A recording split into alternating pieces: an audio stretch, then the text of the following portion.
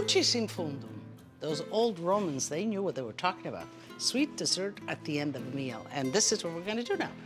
Some crepes, delicious, simple crepes. And every culture has some rendition of them. They're easy to make. You can make them the last minute. You can make it with every any flour also. So what I'm gonna do here, I'm gonna combine regular white flour, and I'm gonna make some flour out of oats. So some oat flour. You can make barley flour like this. You can make your own flour just about of any grain that you wanna use.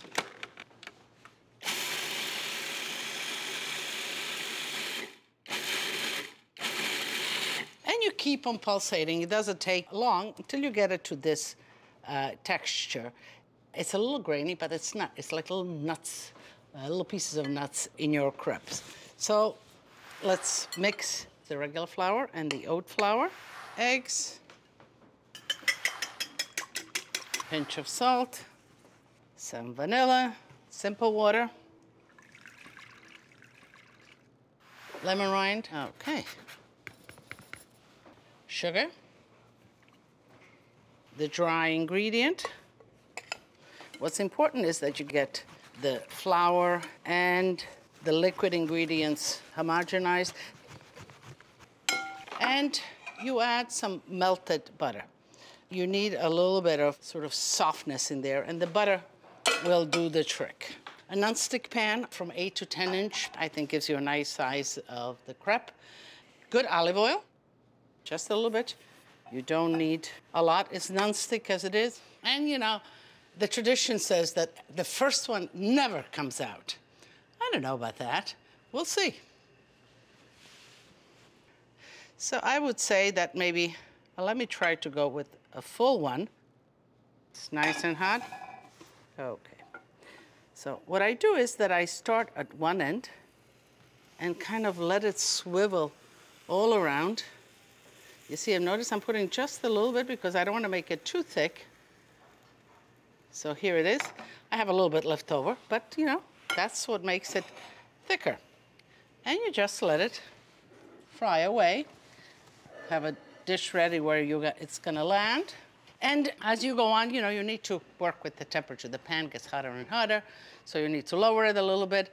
But you do want a nice crust on each side. When you shake the pan and it's kind of moving, shaking in there, that means that it has solidified, that it has detached. Okay, nice crisp. You just flip it over and you let it get crisp on the other side. And you just slide it right out, just like that.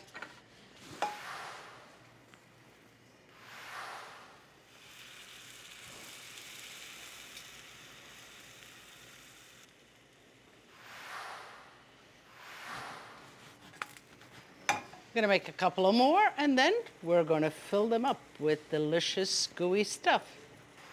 So here we are, a nice pile, uh, fried, ready to be stuffed. What am I gonna stuff them with? Well, jam. I love jam tradition, so apricot. This is uh, the blackberry jam, which is delicious, but also chocolate, and especially if it has some nuts in there, like Nutella, delicious. So let's begin with the jam at least one of each in the middle. And you just spread it, and you don't have to do a lot of spreading. And you can just fold it like a handkerchief, let's see, and just put it like that. Let's do one with the apricot jam. Again, just in the middle. Fold it ah, like a handkerchief. So let's try one with the Nutella. Mm -mm. Just kind of spread it lightly. You don't have to spread it to all end because once you begin to eat it, it sort of spreads all over. And this one, I'm gonna roll it. We used to do a lot of rolling like that. Now I have to make one for myself. And I think I'm going to do the Nutella one. Mm -hmm. And I will roll it, roll it, roll it like that. and a presentation for myself just like that.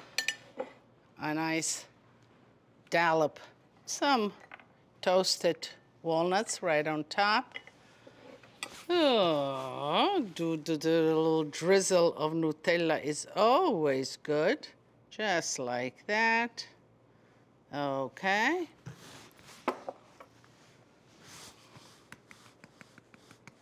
Ha.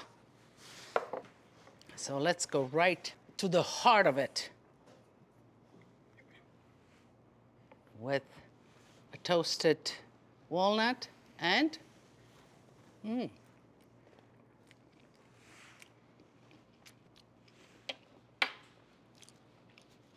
this is heaven. It is my childhood. It is so many things to me and to my family, a whole lifetime. So I want to share with you, and I want to invite you. Tutti a tavola mangiare. Do come.